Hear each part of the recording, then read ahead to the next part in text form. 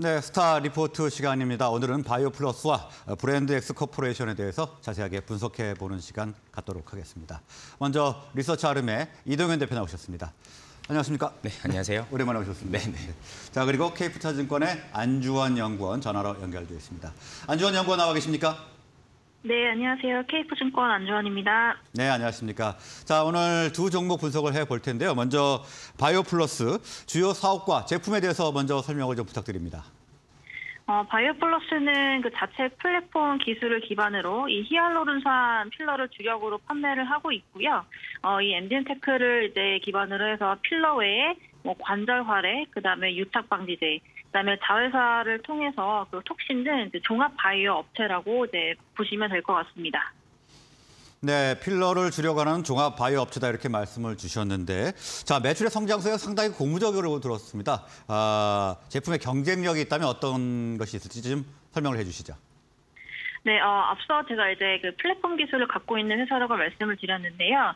일단 그 바이오플러스가 자체 개발, 그 다음에 원천 특허 기술을 가지고 적용한 필러웨 같은 경우에는 어, 점탄성 조절과 그 다음에 안정성, 그 다음에 유지력 등에서 강점을 상당히 많이 보유하고 있습니다. 어, 그리고 이제 아니라 이 그 DBS를 가지고 어, 가공할 수 있는 기술력이 워낙 뛰어난 이제 회사이다 보니까 유착 방지제 관절 활액 등그 품목 확장성이 상당히 크다라는 장점도 있습니다. 네, 최근에 그 중국 내 건강검진 그룹과 미용 성형 프랜차이즈 1호점을 오픈하셨는데요. 이 중국 내 이 회사의 영향력이 어느 정도 될 수 있는지 한 설명 부탁드립니다. 어, 츠밍그룹 같은 경우에는 그 중국에서 최대 이제 건강검진 이제 그룹이고 건강검진센터로 시작을 했지만 어, 병원도 상당히 많이 이제 갖고 있는 회사입니다. 그래서 중국 내에 한 100개 이상의 대형 이제 건강검진센터와 좀 병원을 운영하고 있는 어, 굉장히 좀 그 top3 안에 드는 이제 업체라고 보시면 될 것 같습니다. 네, 매우 큰 업체인 것 같은데 이 1호점 오픈하고 이 향후의 장기적인 전략에 대해서 설명 부탁드립니다. 어, 금번 이 하이난 사업을 시작으로 해서 일단 바이오 플러스 같은 경우에는 이 츠밍그룹과 함께 이제 2023년 말까지 중국 본토 허가를 받아서 중국 전역으로 사업을 확장할 계획에 있고요. 그다음에 향후 5년 내에는 이제 중국 현지의 이 미용 성형 프랜차이즈 병원 이제 30개 개원을 이제 목표로 하고 있습니다. 그래서 일단 이번 하이난 그 어, 인허가 획득 자체가 뭐 여러 가지 면에서 상당히 좀 의미가 있다라고 판단하고 있습니다. 네, 중국에서 영업을 본격적으로 확장을 하고 있는데요. 현재 주가를 보면 오늘은 1.4% 정도가 빠지면서 3만 1,200원 정도 기록하고 있는데 향후 주가 전망을 좀 해주시죠. 어, 바이오플러스는 연평균 50% 성장 그리고 영업이익률도 이제 50% 내외로 사실은 고수익성을 이제 자랑하고 있는 업체입니다. 그만큼 이제 실적 자체가 굉장히 탄 이고 이제 최근에는 이 중국 모멘텀도 새롭게 이제 붙었기 때문에 매년 이 실적 기대감이 이제 높아질 수 있는 회사라고 생각을 합니다.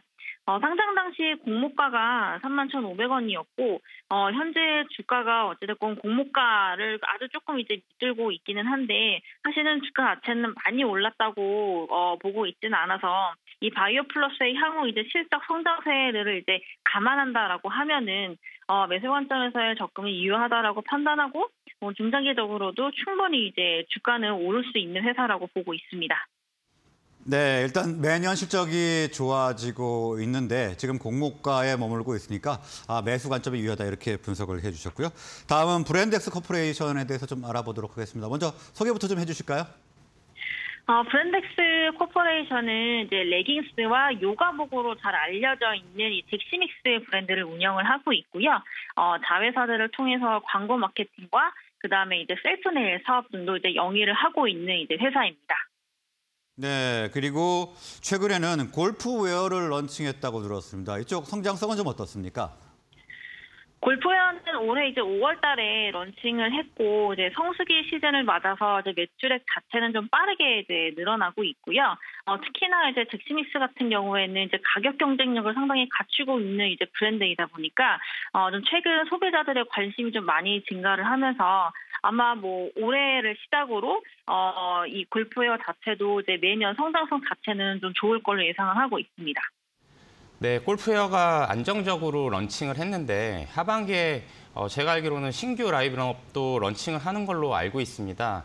이 하반기 신규 라인업 출시에 따른 실적 영향에 대해서 설명 부탁드립니다. 기존에는 젝시믹스가 여성 라인 중심의 레깅스 판매 비중이 절대적으로 높았었기 때문에 여름과 같은 특정 계절에 판매가 많이 이루어지는 특징을 보였습니다. 근데 이제 어, 골프웨어도 런칭을 했고 그 다음에 하반기에 kids 라인, 그 다음에 이제 겨울 outer 출시가 되게 되면 일단 분기별로 실적 계절성 자체는 많이 이제 낮아지게 되는 이제 효과가 있는 거고 어, 분기별로 이제 고른 이제 매출액이랑 이익 성장이 가능할 것으로 판단을 합니다. 네, 우려 사항으로는 자회사 젤라또 랩이 사실 실적이 좋지 않았는데요. 이 젤라또 랩의 사업 내용과 흑자 전환 예상 시기는 어떻게 보시나요? 젤라또 랩은 이제 우리가 잘 알고 있는 대싱지방, 그 다음에 오호라 등과 같은 이제 셀프 네일 사업을 하고 있는 회사이고, 작년 같은 경우에는 이제 신제품 개발비가 많이 늘어났고, 그다음에 판매 채널도 좀 재정비를 하면서 실적은 이제 좋지는 않았습니다. 일단 올해는 어 연간으로는 매출액이 다시 좀 늘어나면서 이익도 좀 흑자 전환이 좀 가능할 것으로 이제 판단을 하고 있고요. 어 이 젤라또랩 역시 이제 대신지만화 이제 오호라 이제 대비해서 일단 가격 경쟁력이 좀 뛰어난 그 품목이기 때문에 충분히 좀 승산은 있다라고 보고 있습니다. 네, 올해 매출액이 늘면서 연간으로는 아, 매출액이 늘면서 흑자 전환이 가능할 것 같다 이렇게 분석을 해주셨는데 현재가를 보면 오늘 8천 원 근방인 것 같습니다. 아, 주가 전망을 좀 해주시고 투자 전략도 좀 말씀을 해주시죠.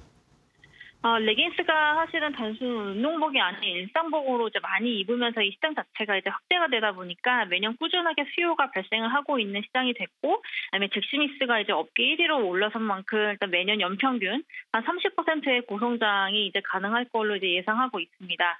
어, 주가도 이제 상장 이후에 이제 많이 이제 빠져 있기 때문에 부담 없는 구간으로 이제 접근 가능한 가격대라고 이제 판단을 하고 있고, 어, 브랜드엑스 코프에선 역시 이제 상장 당시 공모가가 이제 13,000원이었는데 지금 이제 8,000원에 머물러 있기 때문에 뭐 충분히 어 매수해도 되는 이제 시점이다라고 판단을 하고 있습니다.